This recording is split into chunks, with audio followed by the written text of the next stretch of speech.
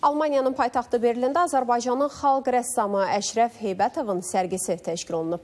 Yunus Əmrə mərkəzinin təşkil etdiyi və rəssamın Türk dünyası adlandırdığı sərginin açılış mərasimində Azərbaycan və Türkiyə diplomatik korpusun nümayəndələri, eləcə də müxtəlif xalqların icma üzvləri qatılıb. Musiqi və poeziya dəqiqələri ilə müşayiət olunan açılışda çıxış edənlər Əşrəf Heybətovun yaradıcılığından danışıb. Onun Türk dünyasının geniş anlamının əsərlərində gözəl əks etdirə bilməsini vurğulayıblar olacaqlar.